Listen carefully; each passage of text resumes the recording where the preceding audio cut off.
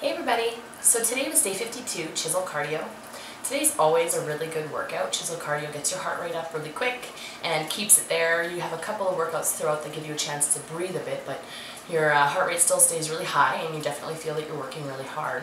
Uh, but today for me was just a touch harder than normal. Uh, for starters, I'm not sure what's going on with my throat, but my voice is a little on the wonky side today.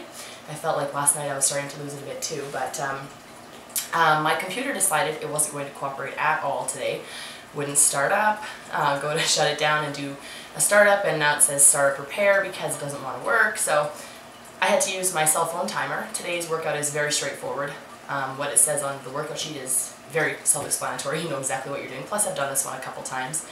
But you don't realize um, how motivational Autumn is until you don't have her there for one workout. It was very hard to get through this workout without her saying, keep going, keep pushing, you can do it, don't quit.